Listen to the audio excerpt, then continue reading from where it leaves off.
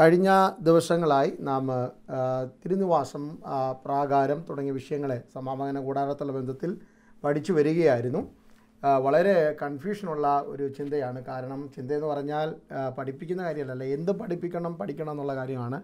ധാരാളം വസ്തുക്കൾ ഇന്ന് രാവിലെയും വേദപുസ്തകം തുറന്ന് ഉച്ച കഴിഞ്ഞ് വായിച്ചപ്പോൾ അതിലെ ഓരോ വിഷയങ്ങളെക്കുറിച്ചും പരിശുദ്ധാത്മാവ് തരുന്ന കാഴ്ചപ്പാടോടെ സംസാരിക്കണമെന്നുണ്ട്. അത് ഈ ആയുസ് കൊണ്ട് തീരത്തില്ലല്ലോ. അങ്ങനെ അത്ര വിശദമായി അല്ലെ ഓരോ വിഷയങ്ങളെക്കുറിച്ചുള്ള കാഴ്ചപ്പാടുകൾ അതിലുണ്ട്. എന്നാൽ അപ്പോൾ തന്നെ എനിക്ക് അല്പം കൂടെ പ്രകാശനം ലഭിച്ച വസ്തുതകൾ മാത്രമേ ഞാൻ നിങ്ങളുമായി പങ്കുവെക്കുന്നുള്ളത് കൊണ്ട് ഓർഡറായിട്ടോ ചിട്ടയായിട്ടോ ഉള്ള ഒരു പഠനമായിരിക്കത്തില്ല എന്ന് ഞാൻ ആരംഭത്തിലെ ഓർപ്പിച്ചു. അത്യാവശ്യം എനിക്ക് പ്രചോദനം ലഭിച്ച കാര്യങ്ങൾ മാത്രമാണ് ഓർപ്പിക്കുന്നത്. ഇന്ന് എട്ടാം ദിവസം നാം പഠിക്കാൻ പോകുന്നത് താമ്രത്തൊട്ടിയെക്കുറിച്ചാണ്. Bronze or brass basin laver എന്നൊക്കെ പഴയ ലാംഗ്വേജിൽ പറയുന്ന ആ- താമ്രത്തൊട്ടി അല്ലെങ്കിൽ പിച്ചളത്തൊട്ടി എന്ന് പറയുന്ന ആ വസ്തുവിനെക്കുറിച്ചാണ് ഇന്ന് രാത്രി നാം പഠിക്കാൻ പോകുന്നത്. പുറപ്പാട് പുസ്തകം മുപ്പതാം അധ്യായത്തിന്റെ പതിനേഴ് മുതൽ ഇരുപത്തിയൊന്ന് വരെയുള്ള വാക്യങ്ങളാണ് നാം പ്രാരംഭമായി വായിക്കുന്നത്. പുറപ്പാട് പുസ്തകം മുപ്പതാം അധ്യായത്തിന്റെ പതിനേഴ് മുതൽ ഇരുപത്തി ഒന്ന് വരെയുള്ള വാക്യങ്ങൾ.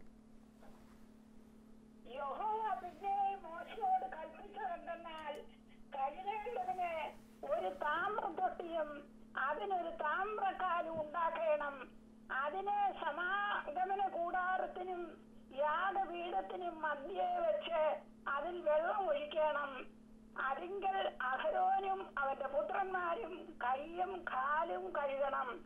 അവർ സമാഗമന കൂടാരത്തിൽ കടക്കുകയോ യഹോവയ്ക്ക് ദഹനയാഗം കഴിക്കേണ്ടതിന് യാഗപീഠത്തിങ്കൽ ശുശ്രൂഷിക്കുവാൻ ചെല്ലുകയോ ചെയ്യുമ്പോൾ മരിക്കാതിരിക്കേണ്ടതിന് വെള്ളം കൊണ്ട് കഴുകണം. അവർ മരിക്കാതിരിക്കേണ്ടതിന് കൈയും കാലും കഴുകണം. അത് അവർക്ക് തലമുറ തലമുറയായി എന്നേക്കുമുള്ള ചട്ടം ആയിരിക്കണം. മതി. സ്തോത്രം. നാം ഈ വായിച്ച വേദഭാഗത്തിൽ അതിന്റെ വിശദീകരണമുണ്ട്. നമുക്ക് ആ ചിന്തയിലേക്ക് പോകാം. ഒരു പിച്ചള തൊട്ടി താമ്രം കൊണ്ടുണ്ടാക്കിയ ഒരു തൊട്ടി ഒരു ബേസൻ. അത് അത് ഒരു താമ്രക്കാലിലാണ്. അതിനൊരു അതിനൊരു ഒരു സ്റ്റാൻഡും കൂടെ ഉണ്ട്. അതും താമ്രം കൊണ്ടുണ്ടാക്കിയിരിക്കുകയാണ് യാഗപീഠത്തിനും വിശുദ്ധ സ്ഥലത്തിനും എന്ന് പറഞ്ഞാൽ പ്രാകാരത്തിന്റെ ഏറ്റവും ഒടുവിലത്തേക്ക് ഭാഗത്തേക്ക് വരികയാണ്. യാഗപീഠത്തിനും വിശുദ്ധ സ്ഥലത്തിനും നടുവിലാണ് ഈ താമ്രത്തൊട്ടി അല്ലെങ്കിൽ വാഷ് ബേസിൻ വച്ചിരിക്കുന്നത്. അവിടെ അതിന്റെ ഉദ്ദേശം എഴുതി വച്ചിട്ടുണ്ട്. സമാഗമന കൂടാരത്തിലേക്ക് കടക്കുന്നതിന് മുമ്പ് സ്തോത്രം അല്ലെങ്കിൽ യാഗത്തിൽ കഴിക്കുവാൻ വേണ്ടി പുരോഹിതൻ വരുന്നതിന് മുമ്പ് മരിക്കാതിരിക്കേണ്ടതിന് അഹരോനും അവന്റെ പുത്രന്മാരും കൈയും കാലും കഴിക്കണം. ആ മൂന്ന് രണ്ട് പ്രാവശ്യം അത് എടുത്തു പറയുന്നുണ്ട്. മരിക്കാതിരിക്കേണ്ടതിന് മരിക്കാതിരിക്കേണ്ടതിന് കൈയും കാലും കഴുകി ശുദ്ധീകരിക്കണം. ഇവിടെ അഹരോനെയും തന്റെ പുത്രന്മാരെയാണ് പുരോഹിതന്മാരായിട്ട് നാം ഇവിടെ കാണുന്നത്. അപ്പോൾ പുരോഹിതനായി ഈ ഏറ്റ ശുശ്രൂഷ ഏറ്റു കഴിഞ്ഞാൽ അഹരോനോ അഹരോന്റെ പുത്രന്മാരോ തലമുറ തലമുറയായി ഇത് ആചരിക്കേണ്ടതാണ്. ശുശ്രൂഷ ചെയ്യുന്നതിന് മുമ്പ് ഇല്ലെങ്കിൽ അതിവിശുദ്ധ വിശുദ്ധ സ്ഥലത്തേക്ക് പ്രവേശിക്കുന്നതിന് മുമ്പ് യാഗപീഠത്തിൽ ഒരു ഹോമയാഗമോ ദഹനയാഗമോ അർപ്പിക്കുന്നതിന് മുമ്പ് അവർ തീർച്ചയായിട്ടും കൈകാലുകളുടെ ശുദ്ധീകരണം വരുത്തിയിരിക്കണം. അല്ലെങ്കിൽ മരിച്ചു പോകും ഉറപ്പാണ്. മരിച്ചു പോകാതിരിക്കേണ്ടതിനാണ്. നമുക്ക് ആ ചിന്തയിലേക്ക് കൊണ്ടുപോകാം നമ്മളെ തന്നെ. പുരോഹിതനായി സ്നാനം പിന്നെ പുരോഹിതനായി ശുശ്രൂഷ ഏൽക്കുമ്പോൾ ശരീരം മുഴുവൻ വെള്ളത്തിൽ കഴുകണം. അതായിരുന്നു പ്രമാണം. പുറപ്പാട് നാൽപ്പതിന്റെ പന്ത്രണ്ടാം വാക്യം പുറപ്പാട് പുസ്തകം. നാൽപ്പതിന്റെ പന്ത്രണ്ട്. കുറച്ച് വാക്യങ്ങൾ കൂടെ നാം ഇന്ന് രാത്രി വായിക്കുന്നുണ്ട്. അപ്പം അല്പം കൂടെ നമുക്ക് ഒരു ഉറപ്പ് കിട്ടും. എപ്പോഴും ദൈവവചനം കേൾക്കുമ്പോൾ ഒരു പേപ്പറും പേനയും കൈവെക്കുന്നത് നല്ലതാണ്. കാരണം ഈ പറഞ്ഞു പോകുന്ന കാര്യങ്ങൾ ഞാനും പറയുന്ന ഞാനും കേൾക്കുന്ന നിങ്ങളും മറന്നു പോകും. ഒന്ന് കുറിച്ചു വെച്ചാൽ ഏതായാലും വിശ്വാസികൾ എന്ന പേര് കിട്ടിപ്പോയി വചനം വായിക്കുന്നവരാണെന്ന് ഒക്കെ ഒരു ധാരണ നമ്മളുടെ ഉള്ളതുകൊണ്ട് വല്ലപ്പോഴൊക്കെ ഇതൊക്കെ ഒന്ന് എടുത്ത് നോക്കാനൊക്കെ പറ്റും. അതുകൊണ്ട് ഒരു കുറിച്ചു വെക്കുന്നത് നല്ലതാണ്. പുറപ്പാട് നാൽപ്പതിന്റെ പന്ത്രണ്ട് അഹരോനെയും പുത്രന്മാരെയും സമാഗമന കൂടാരത്തിന്റെ വാതുക്കൽ കൊണ്ടുവന്ന് അവരെ വെള്ളം കൊണ്ട് കഴുകണം അവരെ വെള്ളം കൊണ്ട് കഴുകണം. ശുശ്രൂഷയ്ക്കായി അഹരോനെയും തന്റെ പുത്രന്മാരെയും ശുശ്രൂഷ ചെയ്യുമ്പോൾ കരപൂരണ യാഗം എന്നൊരു യാഗമുണ്ടെന്ന് കഴിഞ്ഞ ദിവസം ഞാൻ ഓർപ്പിച്ചിരുന്നു. അത് വിശദീകരിക്കാൻ ഇപ്പോൾ നമുക്ക് സമയമില്ലാത്തതുകൊണ്ട് അങ്ങോട്ട് പോകുന്നില്ല. അഭിഷേകം എങ്ങനെയാണ് ചെയ്യുന്നതൊക്കെ സമയമുണ്ടെങ്കിൽ മാത്രം നമുക്കത് ചിന്തിച്ചാൽ മതിയല്ലോ. അപ്പം അഹരോനെയും പുരോഹി പുത്രന്മാരെയും പൗരോഹിത്യ ശുശ്രൂഷയ്ക്ക് വേർതിരിക്കുമ്പോൾ ശുശ്രൂഷ ഏറ്റെടുക്കുമ്പോൾ ശരീരം മുഴുവൻ വെള്ളത്തിൽ കഴുകണം. നമ്മുടെ ഭാഷ പറഞ്ഞ കുളിക്കണം. നന്നായിട്ട് ശുദ്ധീകരണം വരുത്തിയിരിക്കണം. അടിമുടി ശുദ്ധീകരണം വന്നിട്ടാണ് ശുശ്രൂഷ കേൾക്കുന്നത്. എന്നാൽ ഓരോ ശുശ്രൂഷ ചെയ്യുന്നതിന് മുമ്പേ കൈകാൽ മാത്രം കഴുകിയാൽ മതി. അപ്പോൾ എപ്പോഴും കുളിക്കൊന്നും വേണ്ട. കൈകാൽ മാത്രം കഴുകിയാൽ മതി. നമ്മുടെ വിഷയമാണല്ലോ. ഇത് പഴയ നിയമത്തിലെ പുരോഹിതൻ കൈയും കാലും കഴുകി കുളിക്കുന്ന വിഷയമല്ലല്ലോ നമ്മുടെ ചിന്താ വിഷയം. നമ്മളുമായി പുതിയ നിയമ പുരോഹി പുരോഹിതന്മാരാണെന്നും എപ്പോഴും അറിയാവുന്ന വാക്യമാണ് ഒന്ന് ഒന്ന് ഒന്ന് പത്രോസ് രണ്ടിന്റെ ഒമ്പതാം വാക്യം. അന്ധകാരത്തിൽ നിന്ന് അത്ഭുത പ്രദേശ പ്രകാശത്തിലേക്ക് വിളിച്ച് ആ കർത്താവിന്റെ സൽഗുണങ്ങളെ ഘോഷിക്കുന്ന രാജകീയ പുരോഹിതന്മാരാണ്. ആത്മീയ ഗ്രഹമാണ്. നാം എല്ലാവരും ആത്മീയ പുരോഹിതന്മാരാണ്. ശുശ്രൂഷ ചെയ്യുന്ന പുരോഹിതന്മാരാണ്. കർത്താവിനെ സേവിക്കുന്ന സ്നേഹിക്കുന്ന കർത്താവിന്റെ നാമത്തിനു വേണ്ടി ശുശ്രൂഷകൾ ചെയ്യുന്ന പുരോഹിത വർഗമാണ് അപ്പോൾ നാമും ശുശ്രൂഷ ഏറ്റത് സ്നാനത്താലാണ്. വിശ്വാസ സ്നാനത്താലാണ്. യേശുവിന്റെ മരണ അടക്ക പുനരുത്ഥാനത്തിന്റെ സാദൃശ്യത്തോട് നാം ഏകീഭവിച്ച് രക്ഷിക്കപ്പെട്ട നാം കർത്താവായ യേശുക്രിസ്തുവിനെ കൈക്കൊണ്ടതിന്റെ പരസ്യ തെളിവായി ജലസ്നാനം സ്വീകരിച്ചു. അതെല്ലാവർക്കും നന്നായിട്ട് അറിയാം. ഇന്ന് രാത്രി എനിക്ക് തോന്നുന്നില്ല ആരെങ്കിലും സ്നാനപ്പെടാത്തൊരു ഇതിനകത്തുണ്ടെന്ന് ഉണ്ടെങ്കിൽ ഒരു സുവിശേഷകനായതുകൊണ്ട് ഒരു സുവിശേഷകനായതുകൊണ്ട് എപ്പോഴും എവിടെ പോയാലും രക്ഷയും സ്നാനവും മാനസാന്തരവും കർത്താവിന്റെ വരവും ആവർത്തിച്ച് ആവർത്തിച്ച് പറയാറുണ്ട്. അങ്ങനെ ആരെങ്കിലും ഉണ്ടെങ്കിൽ അവർക്കും കർത്താവിന്റെ കൽപ്പന അനുസരിപ്പാൻ ഇത് പ്രചോദനമായി തീരട്ടെ. രക്ഷിക്കപ്പെട്ടവർ കർത്താവിന്റെ കൽപ്പന അനുസരിച്ചിരിക്കണം പിതാവിന്റെയും പുത്രന്റെയും പരിശുദ്ധാത്മാവിന്റെ നാമത്തിൽ സ്നാനപ്പെട്ടെങ്കിലേ ശിഷ്യത്വം എന്ന പദവിയിലേക്ക് നിങ്ങൾക്ക് പ്രവേശിക്കാൻ കഴിയത്തുള്ളൂ. യേശു മരിച്ചതുപോലെ യേശു അടക്കപ്പെട്ടതുപോലെ യേശു അലലിയ കല്ലറയെ ഭേദിച്ച് മൂന്നാം നാൾ ഉയർത്തിയതുപോലെ നാമും ജീവന്റെ പുതുക്കത്തിൽ നടക്കേണ്ടതിന് ജലസ്നാനത്താൽ നാമും അലലിയ യേശുവിന്റെ മരണ പുനരുത്ഥാനങ്ങളോട് ഏകീഭവിക്കപ്പെടുന്നു. അങ്ങനെയാണ് നാം പുതിയ നിയമ പൗരോഹി പുരോഹിതന്മാരായി ശുശ്രൂഷ ഏറ്റെടുത്തത്. അഹരോനും തന്റെ മക്കളും ശുശ്രൂഷ ഏറ്റെടുക്കുമ്പോൾ ശരീരം മുഴുവൻ വെള്ളത്തിൽ കഴുകുന്നത് പോലെ നാമും അങ്ങനെ തന്നെയാണ് ശുശ്രൂഷ ഏറ്റെടുക്കുന്നത്. ആ കാര്യം നമ്മുടെ മനസ്സിൽ നന്നായിട്ടുണ്ടായിരിക്കണം. എന്നാൽ ശുശ്രൂഷ ഏറ്റെടുത്ത പുരോഹിതന്മാർ പിന്നെ എല്ലാ എല്ലാ ആഴ്ച സ്നാനപ്പെടേണ്ട കാര്യമൊന്നുമില്ല. അയ്യോ സഭയിൽ ഒരു സ്നാനം ഉണ്ടല്ലോ ഞാനും പോയൊന്ന് സ്നാനപ്പെട്ടേക്കാം എന്ന് പറഞ്ഞ് പിന്നീട് സ്നാനപ്പെടേണ്ട കാര്യമില്ല. ഓരോ ശുശ്രൂഷയ്ക്കും മുമ്പും കൈയും കാലും വൃത്തിയാക്കണം. സ്തോത്രം. നോക്കണം നമ്മൾ ഈ വായിച്ച പദം. ഈ താമ്രത്തൊട്ടിയുടെ ഉദ്ദേശം അതാണ് കൈയും കാലും ശുദ്ധീകരിക്കണം. അതുകൊണ്ടാണ് യോഹനാന്റെ സുവിശേഷം പതിമൂന്നാം അധ്യായത്തിൽ നമുക്കറിയാവുന്ന വാക്യം ഭാഗമാണ്. യേശുവിന്റെ അവസാന നിമിഷങ്ങളാണ്. പിന്നെ അവർ ഒരുമിച്ച് ശിഷ്യന്മാരൊക്കെ ഒരുമിച്ച് അടച്ചിട്ട മുറിക്കൊക്കെ തിരിക്കുമ്പോൾ ആരാ വലിയവർ ആരാ വലിയവരെന്നൊക്കെയുള്ള വഴക്കൊക്കെ നടക്കുന്നുണ്ടെന്ന് മറ്റു സുവിശേഷങ്ങൾ പറയുന്നുണ്ട്. യേശു ഒരു തൂർത്തെടുത്ത് അരയിൽ ചുറ്റിയിട്ട് ശിഷ്യന്മാരുടെ കാൽ കഴുകാൻ തുടങ്ങി. ഓരോരുത്തരുടെയും കാൽ കഴുകാൻ തുടങ്ങി. ആ കാലങ്ങളിലെ സമ്പ്രദായം അനുസരിച്ച് യജമാനന്റെ കാൽ കഴുകുന്നതാണ് അടിമ. ഇല്ലെങ്കിൽ അതിഥിയായി വരുന്ന ബഹുമാന്യനായ അതിഥിയുടെ കാൽ കഴുകുന്നതാണ് വീട്ടുടയവന്റെയോ വിളിച്ചവരുടെ ജോലി. അപ്പം വന്ന ആൾ ആരുടെ കാൽ കഴുകുന്നോ ആ ആളാണ് കാൽ കഴുകിക്കൊണ്ടിരിക്കുന്ന ആളിനേക്കാൾ വലിയ ആൾ അതുകൊണ്ടാണല്ലോ ഒരിക്കൽ പരീശന്റെ വീട്ടിൽ ചെല്ലുമ്പോൾ യേശു അവിടെ ചെന്ന് ഭക്ഷണത്തിലിരിക്കുമ്പോൾ പാപിനിയായ ഒരു സ്ത്രീ വരുന്നതും യേശുവിന്റെ കാൽ കണ്ണുനീർ കൊണ്ട് തുടയ്ക്കുന്നതും തലമുടി കൊണ്ട് തുവർത്തുന്നതും പരിമള തൈലം പകരുന്നതും കണ്ട് അസഹ്യപ്പെടുന്നവനോട് യേശു ചോദിക്കുന്നു കുഞ്ഞെ ഞാൻ നിന്റെ വീട്ടിൽ വന്നിട്ട് നീ എനിക്ക് കാലിന് വെള്ളം തന്നില്ല എനിക്ക് നീ ചുംബനം തന്നില്ല എന്നൊക്കെ പറയുമ്പോൾ അതിന്റെ അർത്ഥം അല്ലെങ്കിൽ യേശുവിനെ അതിഥിയായിട്ട് അവൻ സ്വീകരിച്ചില്ല ബഹുമാനം കൊടുത്തില്ല എന്ന അർത്ഥത്തിലല്ലേ അപ്പോൾ നോക്കൂ ഇവിടെ യേശു ശിഷ്യന്മാരുടെ കാൽ കഴുകിയാണ്. പത്രോസിന്റെ ഇടയ്ക്ക് വന്നപ്പോൾ പത്രോസ് സമ്മതിച്ചില്ല. എന്റെ കാലൊന്നും കഴുകാൻ ഗുരുവും കർത്താവുമായി അങ്ങ് എന്റെ കാൽ കഴുകാൻ സമ്മതിക്കേണ്ട സമ്മതിക്കത്തില്ലെന്നൊക്കെ പറഞ്ഞു. ഇച്ചിരി മുമ്പ് വഴക്കുണ്ടാക്കിയ ആളാണ് ആരാ വലിയവനെന്ന് പറഞ്ഞുകൊണ്ട്. അപ്പോൾ യേശു പറഞ്ഞു കാൽ കഴുകുന്നില്ലെങ്കിൽ നിനക്ക് എന്റെ കൂടെ ഓഹരിയില്ല. കർത്താവിന്റെ തിരുമേശ നുറുക്കാൻ പോവുകയാണ്. കാൽ കഴുകുന്നില്ലെങ്കിൽ ഈ പദം മറന്നു പോകല്ലേ നിനക്ക് എന്റെ കൂടെ ഓഹരിയില്ല. അപ്പോൾ ഉടനെ ചാടിക്കയറി പറഞ്ഞു എന്നാൽ എനിക്ക് കുളിക്കണമെന്ന് പറഞ്ഞു. എന്നാൽ പിന്നെ എന്റെ തലയും കൂടെ അങ്ങ് കഴിയേക്കാൻ പറഞ്ഞു. അപ്പോൾ യേശു പറഞ്ഞു കുളിച്ചിരിക്കുന്നവർക്ക് കുളിച്ചിരിക്കുന്നവന് കാലിപ്പം മാത്രം കഴിയാൽ മതി. അതാണ് അതിന്റെ അർത്ഥം.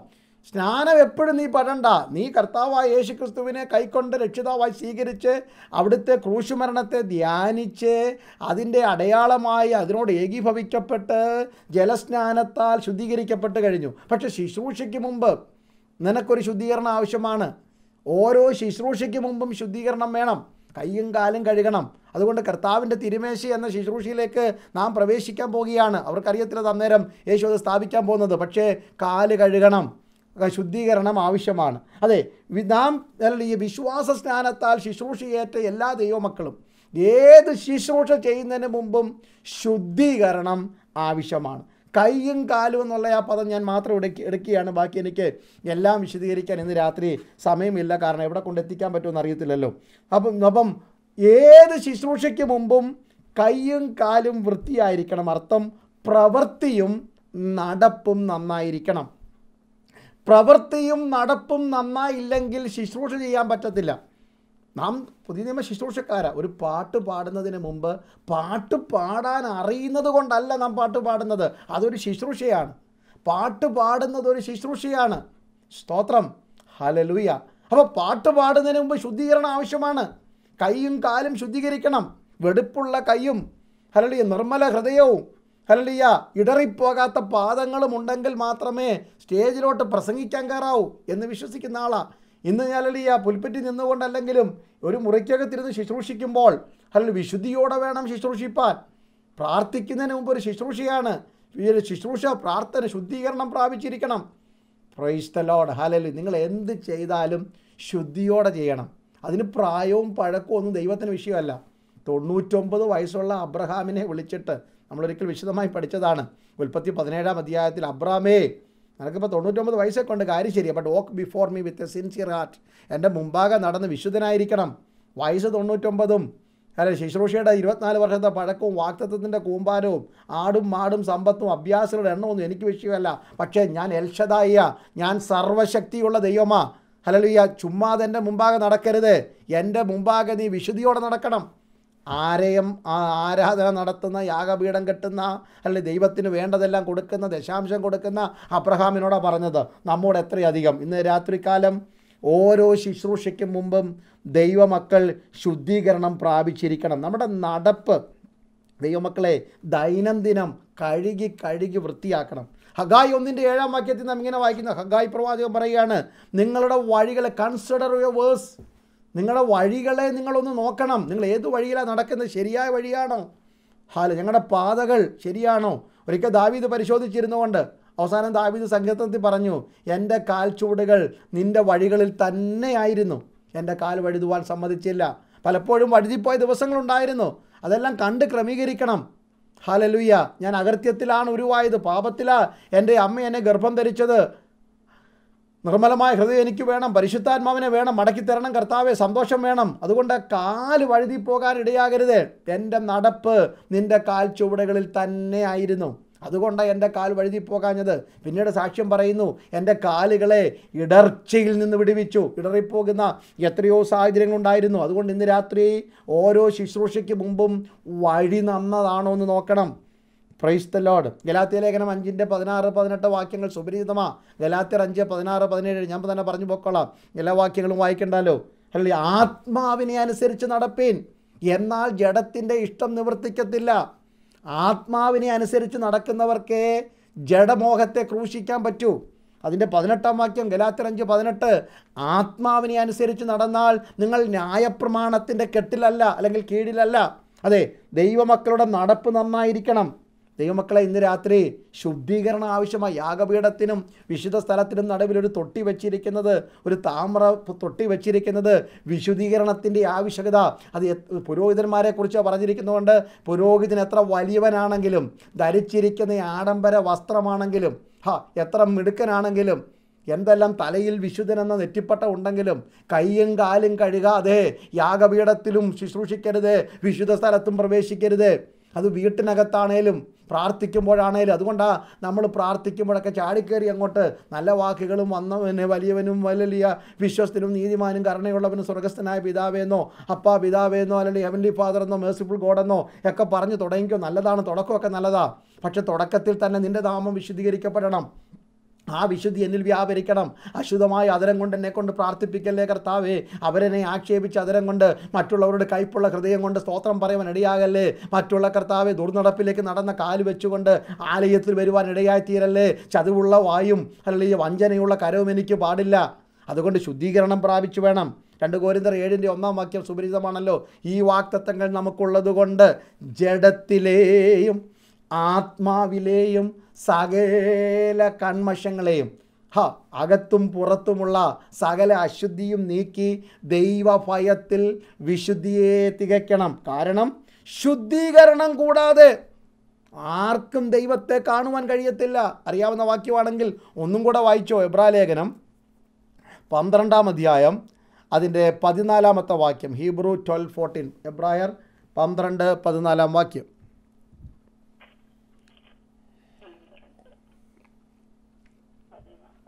ആ, എല്ലാവരോടും സമാധാനം ആചരിച്ച് ശുദ്ധീകരണം പ്രാപിപ്പാൻ ഉത്സാഹിപ്പീൻ ശുദ്ധീകരണം കൂടാതെ ആരും കർത്താവിനെ കാണുകയില്ല അതിന്റെ രണ്ടാം ഭാഗമാണ് നാം എപ്പോഴും എടുത്തു പറയുന്നത്.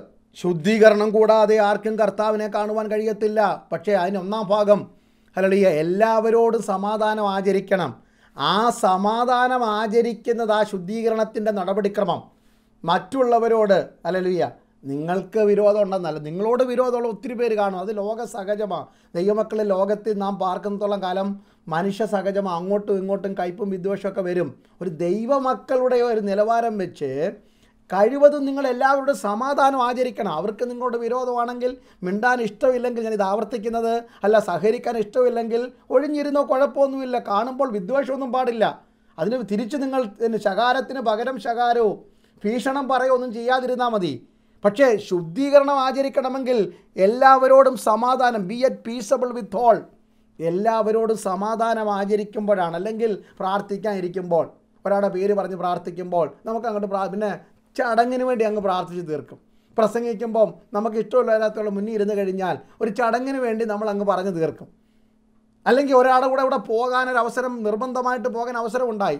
വീർത്ത് കെട്ടി മിണ്ടാതിരുന്ന് പോകേണ്ടി വരും. അതുകൊണ്ട് ഹൃദയത്തിനകത്ത് വഞ്ചനയും കയ്പൊന്നും പാടില്ല. സഹകരിക്കാത്തവർ സഹകരിക്കേണ്ട അത് വിഷയമല്ലല്ലോ നമുക്ക്. പക്ഷെ ശുദ്ധീകരണം ആചരിക്കണമെങ്കിൽ ഉള്ളിൽ ഒരു സമാധാനം വേണം അവരുമായി. സമാധാനം ആചരിക്കണം. നമ്മുടെ ശുദ്ധീകരണം നടക്കുന്നത് മൂന്ന് വിധത്തിലാണ്. അത് ഇന്ന് രാത്രി നമുക്കൊന്ന് പഠിക്കാം. ശുദ്ധീകരണം ഒരു ദൈവപൈതലിന്റെ രക്ഷിക്കപ്പെട്ട ദൈവപൈതലിന്റെ ശുദ്ധീകരണം നടക്കുന്നത് മൂന്ന് തരത്തിലാണ്. മൂന്ന് തരത്തിലുള്ള ശുദ്ധീകരണമാണ് ദൈനംദിന ജീവിതത്തിൽ നമുക്ക് അനുവർത്തിക്കേണ്ടത്. ഒന്ന് രക്ഷിക്കപ്പെടുന്നതിന് മുമ്പുള്ള സകല പാപങ്ങളും. ഹലലുയ പാപബോധം വന്ന് അനുദപിച്ച് ഏറ്റുപറയുമ്പോൾ ശുദ്ധീകരണം നടക്കുന്നത് യേശുവിന്റെ രക്തത്താലാണ്. ഞാൻ രക്ഷിക്കപ്പെടുന്നതിന് മുമ്പ് യേശുവിനെ കണ്ടുമുട്ടുന്നതിന് മുമ്പ് ജീവിതത്തിൽ വന്നു ഭവിച്ച സകല പാപങ്ങളും ഏറ്റുപറയുമ്പോൾ. ഹലലുയ്യ ഒന്ന് യോഹന്നാൻ ഒന്നിന്റെ ഏഴ് ഒമ്പതും വാക്യങ്ങൾ എല്ലാവർക്കും അറിയാം. ഹലലുയ്യ നാം നമ്മുടെ പാപങ്ങളെ ഏറ്റുപറയുന്നുവെങ്കിൽ അവൻ നമ്മുടെ സകല പാപവും ക്ഷമിച്ച് മറക്കുവാൻ തക്കവണ്ണം അല്ലെങ്കിൽ വിശ്വസ്തനായ ദൈവമാണ്. യേശുവിന്റെ രക്തം സകല പാപവും പോക്കി നമ്മെ ശുദ്ധീകരിക്കുന്നു. ഇതാണ് രക്ഷിക്കപ്പെടുന്നതിന് മുമ്പുള്ള സകല പാപങ്ങളുടെയും മോചനം ശുദ്ധീകരണം സാധ്യമാകുന്നത് യേശുവിന്റെ രക്തത്തിൽ ആശ്രയിച്ച് പാപമേറ്റു പറയുമ്പോൾ. രക്ഷിക്കപ്പെട്ട് കഴിഞ്ഞാൽ സ്തോത്രമല്ലിയ ദൈനംദിനം ശുദ്ധീകരണം വേണം. ഞാൻ ഈ പറഞ്ഞ കണക്ക് ദൈനംദിനം ശുദ്ധീകരണം വേണം. അപ്പോഴും ശുദ്ധീകരണം യേശുവിന്റെ രക്തത്തിൽ തന്നെയാണ് ശുദ്ധീകരണമെങ്കിലും യേശുവിന്റെ രക്തത്തിൽ കൂടെ സാധ്യമായ ശുദ്ധീകരണത്തെ വീണ്ടും വീണ്ടും ഓർക്കണം. അതെങ്ങനെ ഓർക്കുന്നത്? ഒന്ന് പത്രോസ് വായിച്ചാട്ടെ. ഒന്ന് പത്രോസ് ഒന്നാം അധ്യായം അതിന്റെ ഒന്ന് രണ്ട് വാക്യങ്ങൾ. പത്രോസിന് എഴുതിയ ഒന്നാം ലേഖനം ഒന്നിന്റെ ഒന്നും രണ്ട്.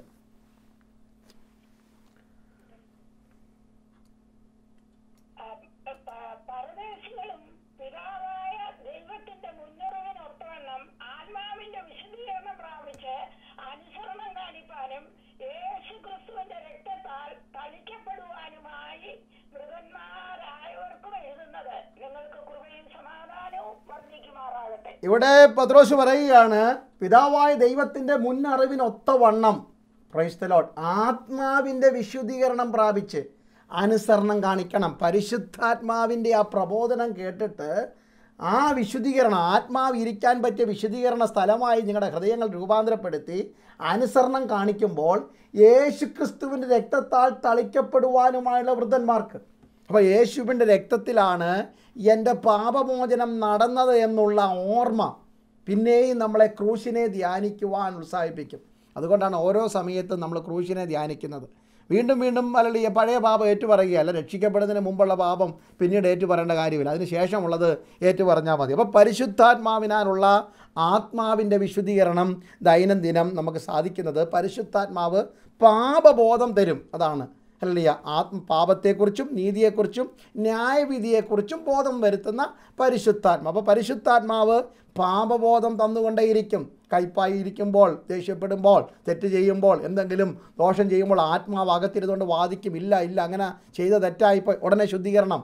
അയ്യോ കർത്താവെ ക്രൂശിൽ എനിക്ക് വേണ്ടി മരിച്ചത്. ഈ പാപത്തിനും കൂടി ആണല്ലോ ഇതിനും ചെയ്യാൻ എന്നെ അനുവദിക്കരുതേ എന്ന് പറഞ്ഞ് ഏറ്റു ഏറ്റു പറഞ്ഞ് ഉപേക്ഷിക്കുമ്പോൾ കരുണ ലഭിക്കും. പരിശുദ്ധാത്മാവിനാനുള്ള ശുദ്ധീകരണം. മൂന്നാമത് നമുക്ക് ലഭിക്കുന്ന ശുദ്ധീകരണം ദൈനംദിനം ദൈവവചനത്താലുള്ള ശുദ്ധീകരണമാണ്. ദൈവത്തിന്റെ വചനത്താലുള്ള ശുദ്ധീകരണം. രണ്ട് വാക്യങ്ങൾ ഇപ്പോൾ വായിക്കുന്നു.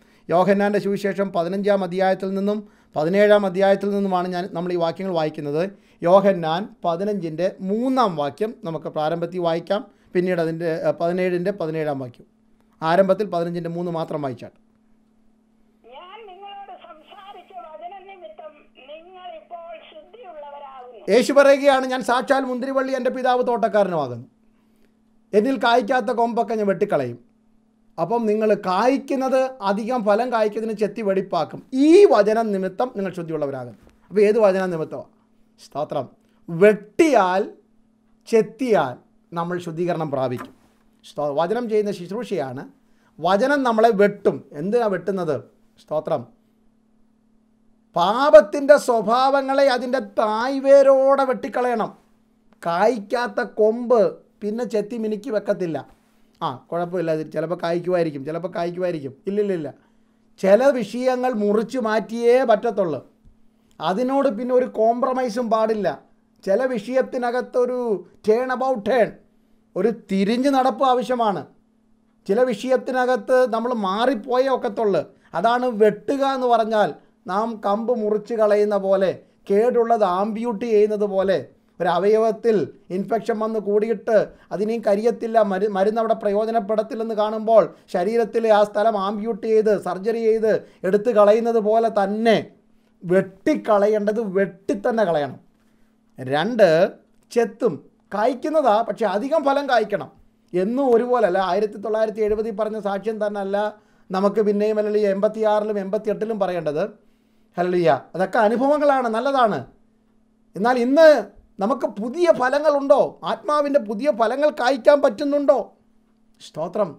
സ്നേഹം കായ്ക്കാൻ പറ്റുന്നുണ്ടോ? സമാധാനം ദീർഘക്ഷമ ദയ ഇന്ദ്രിജയം വിശ്വസ്തത സൗമ്യത ഇതൊന്നും കായ്ക്കാൻ പറ്റാത്തത് പഴയതിന്റെ ഓർമ്മയിൽ കിടക്കുകയാണോ?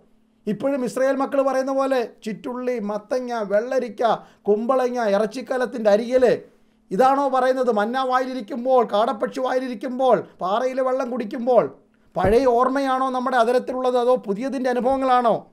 അതിനു വേണ്ടി പുതുക്കത്തിന് വേണ്ടി നമ്മളെ ചെത്തും. പുതിയ പാട്ടിന് വേണ്ടി. പുതിയ ആരാധനയുടെ പുതിയ മണ്ഡലങ്ങൾ നടന്നു കയറുവാൻ. പുതിയ മനുഷ്യനായി മാറുവാൻ ചെത്തിവെടിപ്പാക്കും വചനത്താലുള്ള ദൈനംദിനം ശുദ്ധീകരണം. യേശുവിന്റെ മഹാപുരോഹിത പ്രാർത്ഥനയിലും ഈ പദം യേശു ആവർത്തിച്ചു. യോഹന്നാൻ പതിനേഴ് പതിനേഴ് സത്യത്താൽ അവരെ വിശുദ്ധീകരിക്കണമേ നിന്റെ വചനം സത്യമാകുന്നു ഇവിടെ പറയുന്നു സത്യത്താൽ ഇവർക്കൊരു വിശുദ്ധീകരണം നടത്തണം. ആ വചനമാണ് ശുദ്ധീകരണം നടത്തുന്നത്. ഒരു ദൈവ പൈതലിനെ ദൈനംദിനം ശുദ്ധീകരിക്കണം. അതുകൊണ്ടാണ് നമ്മൾ വചന ശുശ്രൂഷയ്ക്ക് ദൈവസഭയിൽ ഇത്ര പ്രാധാന്യം കൊടുക്കുന്നത്. പ്രാർത്ഥന കുറഞ്ഞോ കുറഞ്ഞോന്നല്ല പ്രാർത്ഥിക്കണം നന്നായിട്ട്. അപ്പോസ്റ്റർമാർ പറഞ്ഞ കാര്യം നിങ്ങൾക്ക് നന്നായിട്ട് അറിയാം. സഭയിൽ തിരഞ്ഞെടുപ്പ് നടക്കുകയാണ്. മേശയിലെ ശുശ്രൂഷയ്ക്ക് അപ്പോസ്റ്റലന്മാരെല്ലാവരും കൂടെ അലിയ യവനന്മാരുടെ ഹെലനിസ്റ്റ് യവനന്മാരുടെ വിധവമാരും എബ്രായ ആ കുടുംബങ്ങളിലുള്ള പ്രശ്നങ്ങളും ആയപ്പോൾ അവിടെ വന്ന് പറഞ്ഞ അപ്പോസ്തന്മാർ എന്താ പറഞ്ഞത്? അപ്പോസ്തപതി ആറിന്റെ നാല് ഞങ്ങളും വചന ശുശ്രൂഷ വിട്ടിട്ട് മേശയിലെ ശുശ്രൂഷ ചെയ്യുന്നത് ശരിയല്ല. അതുകൊണ്ട് ഞങ്ങളോ വചന ശുശ്രൂഷയിലും പ്രാർത്ഥനയിലും ഉറ്റിരിക്കും. വചന ധ്യാനത്തിലും പ്രാർത്ഥനയിലും ഉറ്റിരിക്കും.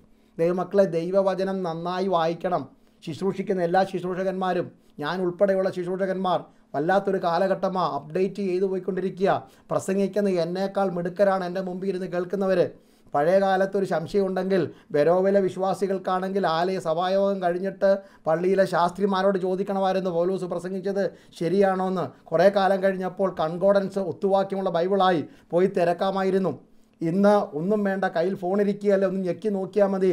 ഈ പറയുന്ന വാക്കും ഗ്രീക്കോ ഹീബ്രു അല്ലെങ്കിൽ അക്ഷരോ എല്ലാം തെറ്റാണോ ശരിയാണോ എന്ന് ഞാൻ പ്രസംഗിച്ച് കഴിയുമ്പോൾ പലരും ടെക്സ്റ്റ് ചെയ്യാറുണ്ട്. അല്ലെങ്കിൽ എനിക്ക് നേരിട്ടല്ലെങ്കിൽ കമന്റുകളിലൊക്കെ ടെക്സ്റ്റ് ചെയ്തത് ആൾക്കാർ എന്നോട് വിളിച്ചു പറയാറുണ്ട്. പറയുന്ന ഒരു വാക്യം സ്പീഡിൽ പറഞ്ഞു പോയാൽ തെറ്റിപ്പോയാൽ സ്ക്രീനിൽ കാണിക്കുന്നത് ഞാൻ എന്റെ ധൃതി വശം എഴുതി കൊടുക്കുന്നത് കുഞ്ഞുങ്ങൾ ഒന്ന് മാറിപ്പോയാൽ അല്ലെങ്കിൽ ഞാൻ എന്നെ എന്റെ കയ്യിൽ നിന്ന് വന്ന മിസ്റ്റേക്ക് കൊണ്ട് മാറിപ്പോയാൽ ഉടനെ അവർ കറക്റ്റ് ചെയ്യും. കാരണം അങ്ങനെ ഒരു കാലഘട്ടത്തിൽ എത്രമാത്രം സൂക്ഷ്മതയോടെ മണ്ടത്തരങ്ങളൊന്നും ഞാനത് വിശദം ആ ഭാഗത്തേക്ക് വരാൻ പോകുക വചനത്തിനകത്ത് നിൽക്കണം. അതുകൊണ്ടാണ് അടുത്ത ഏഴ് പേരെ തിരഞ്ഞെടുത്തത്. സഭയിലും നമുക്ക് ദൈവം ശുശ്രൂഷയ്ക്ക് ആൾക്കാരെ തന്നിട്ടുണ്ട്. സഭയുടെ ഉത്തരവാദിത്തങ്ങൾ ചെയ്യുവാൻ സഭയുടെ അഡ്മിനിസ്ട്രേഷൻ കാര്യങ്ങൾ കൊണ്ട് പാസ്റ്ററെ കൊണ്ട് എല്ലാം കൂടെ ചെയ്യാൻ പറ്റത്തില്ല. അങ്ങനെ ചെയ്യാം അറിയാൻ വയ്യാഞ്ഞിട്ടല്ല അത്യാവശ്യം കണക്ക് കൂട്ടാനും അത്യാവശ്യം കാര്യം ചെയ്യാനും എല്ലാവർക്കും സാധാരണ ബുദ്ധിയുണ്ട്. പക്ഷേ ഞാൻ അതിന്റെ പുറകെ പോയി കഴിഞ്ഞാൽ പ്രസംഗം നടക്കത്തിൽ അങ്ങനെല്ലാം കറങ്ങി അടിച്ചിട്ട് വരുമ്പോൾ പിന്നെ പ്രസംഗം നടക്കത്തിൽ അതുകൊണ്ട് ദൈവന്മാരിൽ ആക്കി വെച്ച ഉത്തരവാദിത്തപ്പെട്ട ദൈവദാസന്മാർ സഭയിലുണ്ട്. അതുകൊണ്ട് സത്യവചനത്തിനും ഈ കാലഘട്ടത്തിൽ കഴിഞ്ഞ ദിവസം ഒരു ദൈവദാസൻ വചനം നന്നായി സംസാരിക്കുന്ന ഈ കാലങ്ങൾ ഉപയോഗിച്ച് ദൈവദാസനുമായി സംസാരിച്ചു. ദൈവദാസൻ പറഞ്ഞ് എന്റെ പാസ്റ്ററെ ഇനിയും അലളിയ നന്നായി വചനം പഠിക്കുകയും നന്നായി പ്രാർത്ഥിക്കുകയും നന്നായി റെഫർ ചെയ്യുന്നവർക്ക് മാത്രമേ പിടിച്ചു നിൽക്കാൻ പറ്റുള്ളൂ ഈ ഫീൽഡിൽ. കാരണം അതുപോലെ പ്രാസംഗികരുടെ എണ്ണം കൂടി വരുന്ന ഒരു കാലഘട്ടമാണ് അതുകൊണ്ട് പഴയ അലളിയ ന്യായപ്രമാണത്തിന്റെ പുസ്തകം തപ്പി നടക്കാതെ അതിന്റെ ചുറ്റും തീ കായാതെ പഴയ നോട്ട് തപ്പി നടക്കാതെ പുതുമയുള്ള ആത്മീയ വിഷയങ്ങൾ വചനം മാറിപ്പോകാനല്ല ദൈവവചനത്തിൽ അല്പം കൂടെ വേരിറങ്ങുവാൻ. ഹല്ലേലൂയ. വചനത്താലുള്ള ശുദ്ധീകരണം ദൈനംദിനം പ്രാപിക്കണം.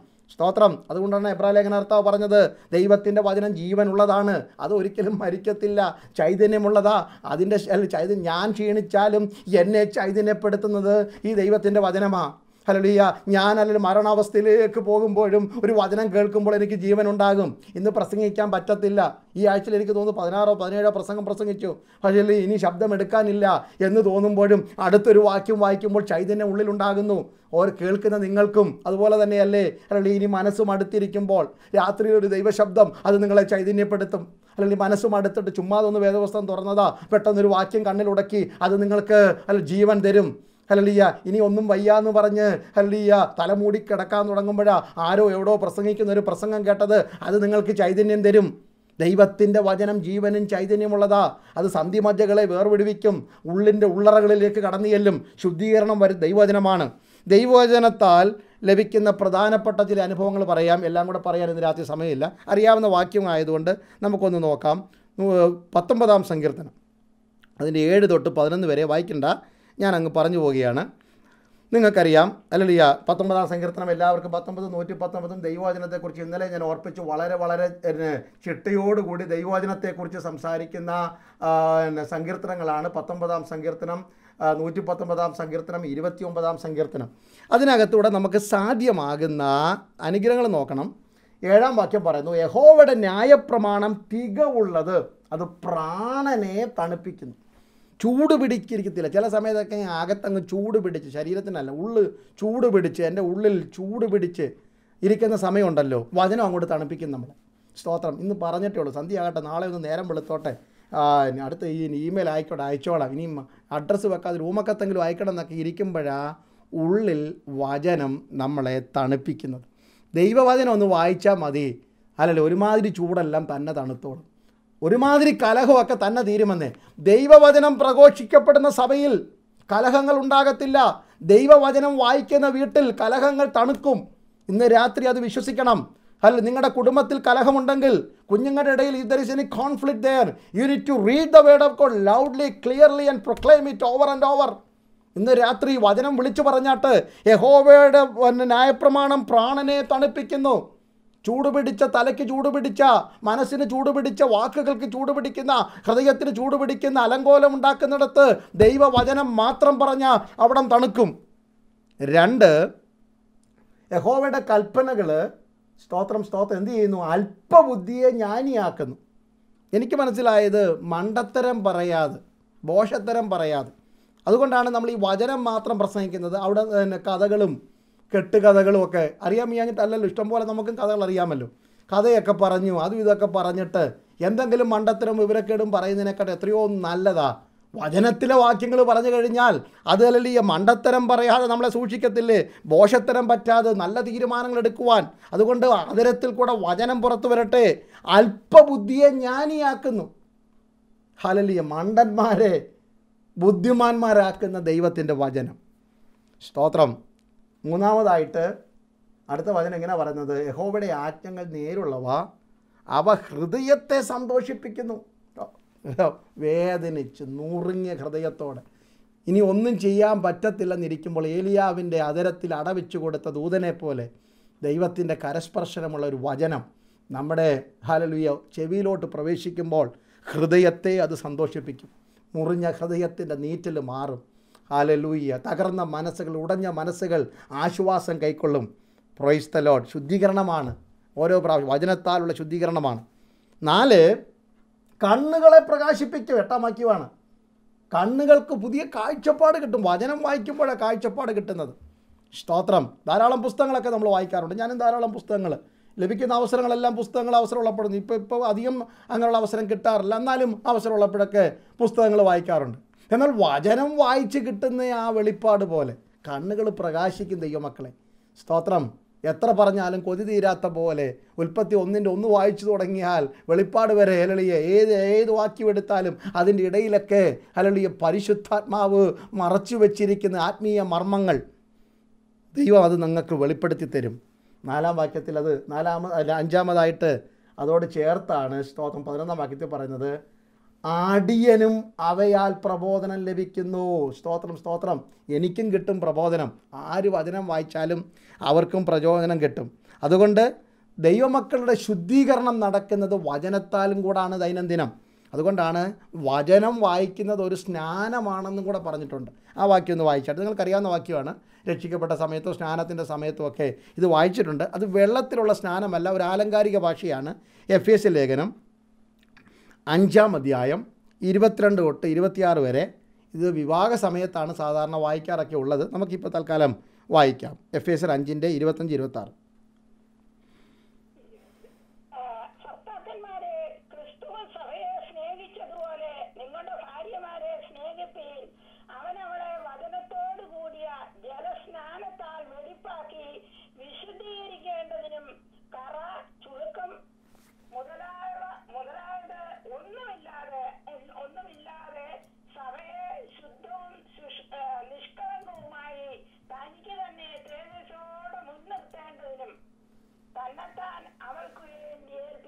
വചനത്തോടുകൂടെ ജലസ്നാനത്താൽ വെടിപ്പാക്കി വിശദീകരിച്ചു. സ്തോത്രം. Washing of the water by the word എന്നാണ് ഉപയോഗിച്ചിരിക്കുന്നത്. എന്റെ അർത്ഥം സ്നാനമല്ല ബാപ്റ്റിസമോ അല്ല മുഴുകുന്നതല്ല വചനം കൊണ്ട് കഴുകി സഭയെ അല്ലുയ രക്ഷിക്കപ്പെടുത്തി പിന്നെ രക്തം കൊടുത്ത് വീണ്ടെടുത്ത സഭയെ കറ ചുളുക്കം വാട്ടം.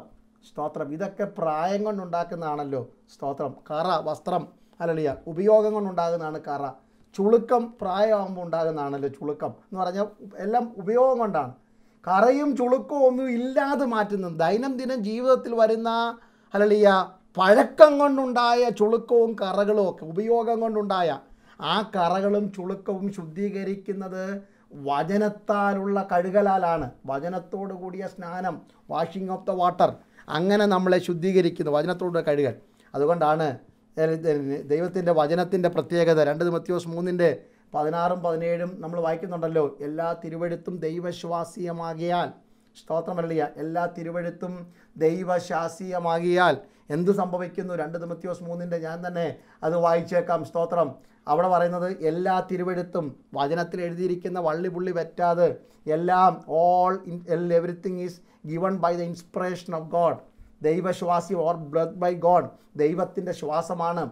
അതുകൊണ്ട് ദൈവത്തിന്റെ ആ മനുഷ്യൻ സകല സൽപ്രവൃത്തിക്കും വക പ്രാപിച്ച് തികഞ്ഞവനാകേണ്ടതിന് ഉപദേശത്തിനും ശാസനത്തിനും നീ ഗുണീകരണത്തിനും നീതിയിലെ അഭ്യസനത്തിനും പ്രയോജനമുള്ളതാകുന്നു.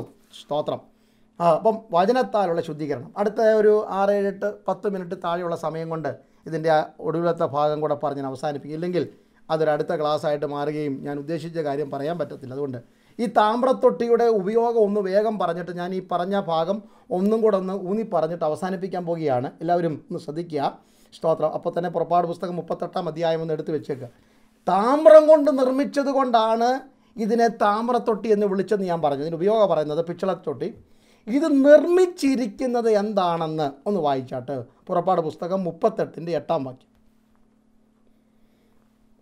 വേഗം ആഗമന കൂടാരത്തിന്റെ വാതുക്കൽ സേവ ചെയ്തു വന്ന സ്ത്രീകളുടെ ദർപ്പണങ്ങൾ കൊണ്ട് അവൻ താമ്രത്തൊട്ടിയും അതിന്റെ താമ്രക്കാലും നോക്കൂ ഇതിന് ഉപയോഗിച്ച സാധനം ഇത് താമ്ര തൊട്ടിയാണ്. അത് ഉപയോഗിച്ചിരിക്കുന്നത് നമുക്കറിയാം പുറപ്പാട് ദിവസം ഇരുപത്തഞ്ചാം അധ്യായത്തിൽ സ്തോത്രകാഴ്ച എടുക്കുന്നുണ്ട്. എല്ലാവരും സാധനങ്ങൾ കൊണ്ടുവരണമെന്ന് നമുക്കതിപ്പോൾ പറയാൻ സമയം. എല്ലാവരും ഹൃദയത്തിൽ സന്തോഷമുള്ളവരെല്ലാം കൊണ്ടുവരണം എന്ന് പറഞ്ഞ് അങ്ങനെയാണ് ഇഷ്ടം പോലെ കൊണ്ടുവരുന്നതും. കുറേ കഴിയുമ്പോൾ ഈ മതിയെന്ന് മോശ പറയുന്നതൊക്കെ നമുക്ക് കാണാൻ പറ്റും. ഈ താമ്രത്തൊട്ടി അല്ലെങ്കിൽ പിച്ചളത്തൊട്ടി ഉണ്ടാക്കിയിരിക്കുന്നത് സഹോദരിമാരുടെ ഓഫറിംഗ് ആയ കണ്ണാടി കൊണ്ടാണ്. എന്ത് കണ്ണാടിയാണ്? ദർപ്പണം എന്ന് പറയുന്ന മലയാളത്തിൽ അത് മിററാണ് നമ്മുടെ നമുക്കിപ്പോൾ കണ്ണാടി എന്ന് കേട്ട ഉടനെ ഗ്ലാസ് ആണ് ഓർമ്മ വരുന്നത്. പക്ഷേ പഴയ കാലത്ത് കണ്ണാടികൾ ഗ്ലാസ് കൊണ്ടല്ലായിരുന്നു.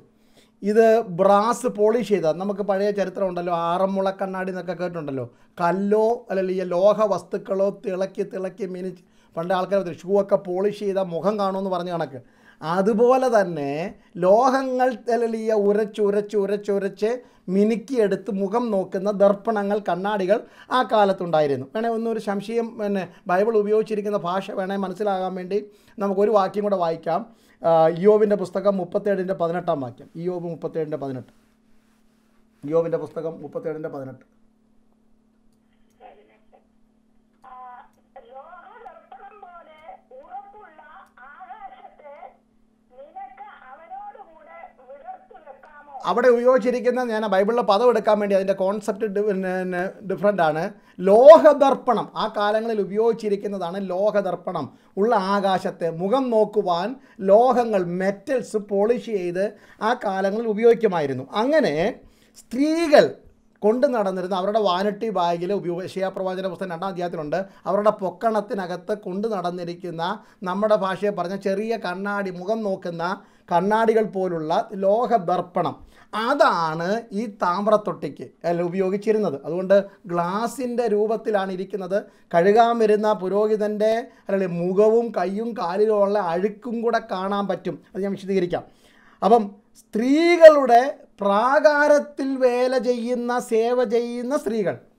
അപ്പം മനസ്സിലായല്ലോ? പ്രാകാരം ഞാൻ ഓർപ്പിച്ചാണ് രണ്ടാമത്തെ ക്ലാസ്സിൽ അതിന്റെ വാതുക്കൽ ഒരു മറശീലയുണ്ട് അവിടെ തടസ്സവും നില കയറിപ്പോകാം. പ്രാകാരവാതുക്കൽ സ്ത്രീകൾക്ക് എന്താ ജോലി?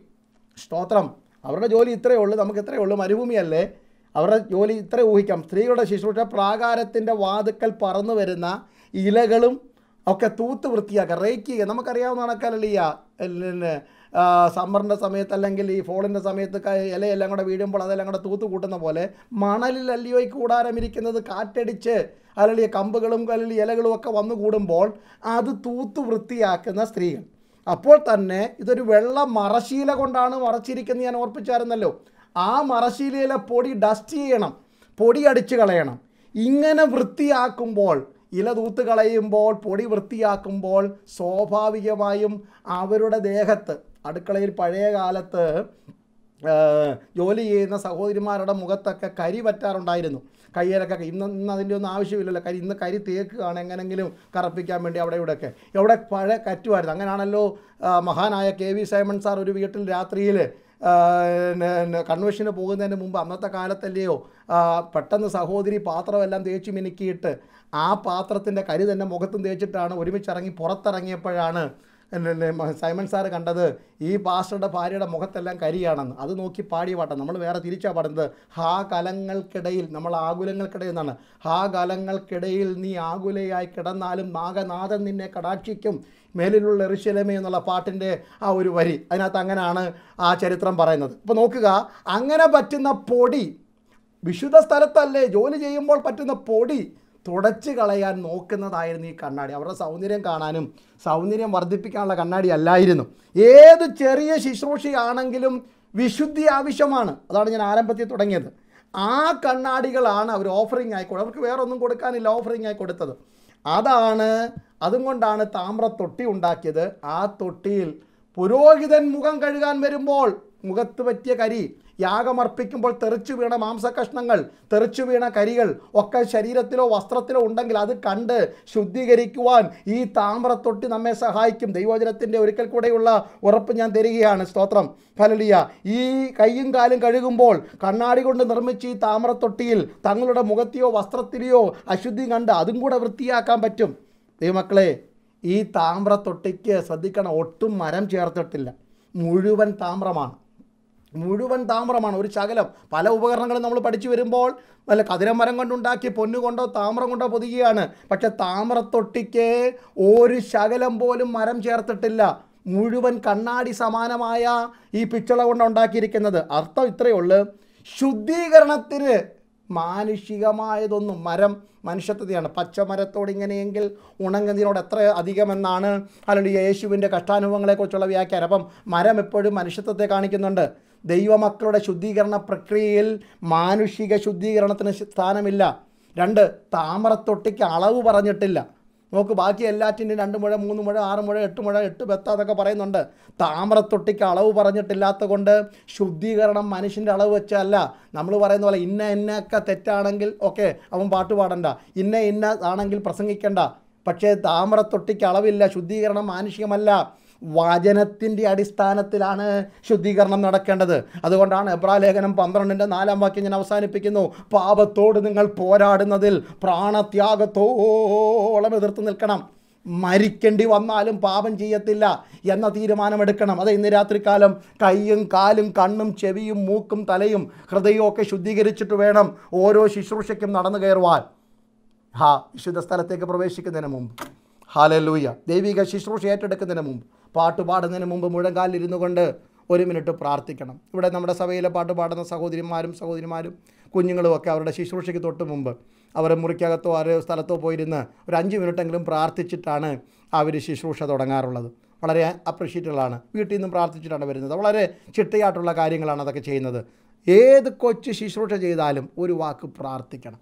ഹാലലൂയ. സമർപ്പിക്കണം വിശുദ്ധീകരണം പ്രാപിക്കണം. എന്തെങ്കിലും കർത്താവ് ജഡമോഹമോ കൺമോഹമോ ജീവിതത്തിന്റെ ഏതെങ്കിലും പ്രതാപമോ എന്റെ ജീവിതത്തിലുണ്ടെങ്കിൽ താമ്രത്തൊട്ടിയാകുന്ന വചനത്തിലേക്ക് കണ്ണുയറുകൾ ഉയർത്തി നോക്കുമ്പോൾ വചനം ചൂണ്ടിക്കാണിക്കും. വചനത്താലുള്ള ശുദ്ധീകരണം നമുക്ക് ലഭിക്കും. അങ്ങനെ ശുദ്ധീകരണത്തോടു കൂടി നമ്മൾ ശുശ്രൂഷ ചെയ്യുകയാണെങ്കിൽ ആ ശുശ്രൂഷ വിജയിച്ചു. ആ ശുശ്രൂഷ വിജയിച്ചു. പ്രായമാകുമ്പോഴും വാർദ്ധക്യം എത്തുമ്പോഴും നരയുള്ള കാലത്തും എഴുന്നേറ്റ് നടക്കാൻ പറ്റാത്തപ്പോഴും അതരം ഉയർത്താൻ പറ്റാത്തപ്പോഴും വിശ്വസ്തനെ നല്ലവനെ എന്ന വിളി കേൾക്കുവാൻ ദൈവം നമ്മെ സഹായിക്കും. ഈ വചനങ്ങളാൽ ഇന്ന് രാത്രി കർത്താവ് എല്ലാവരെയും ആശീർവദിച്ച് അനുഗ്രഹിക്കുമാറാകട്ടെ